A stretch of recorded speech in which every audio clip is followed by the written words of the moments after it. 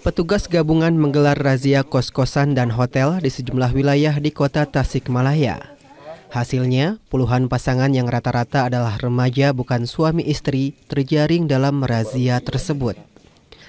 Seperti di kawasan Cikalang, Tawang, Tasikmalaya, ditemukan sebuah salon yang disulap jadi kamar kosan. Di dalamnya petugas memergoki pasangan remaja sedang asik pesta miras dan ditemukan alat kontrasepsi bekas dan baru di ruang kamar. Di tempat lainnya, petugas juga mendapati belasan pasangan anak baru gede sedang asik di dalam kamar.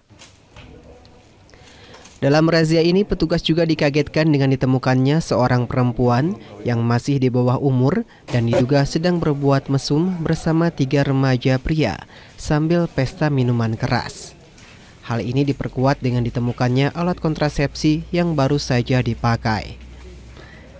Mereka yang terjaring razia kemudian didata sebelum bisa pulang ke rumah orang tuanya.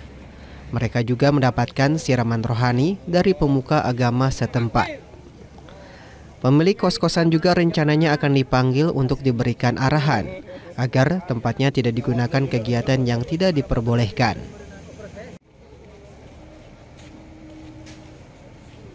Malam ini adalah malam operasi cipta kondisi di mana kami dari pemerintah Kota Tasikmalaya melalui Satuan Polisi Pamong Praja bersama Dinas Pariwisata, kemudian ada dari Kesbang, kemudian dari pihak kepolisian, kita melakukan penyisiran di beberapa tempat yang diindikasikan eh, ada beberapa penyimpangan seperti kos-kosan, kemudian ada hotel atau tempat karaoke.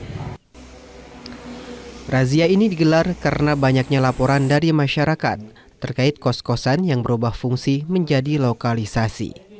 Dede Ibin, Kompas TV, Tasikmalaya, Jawa Barat.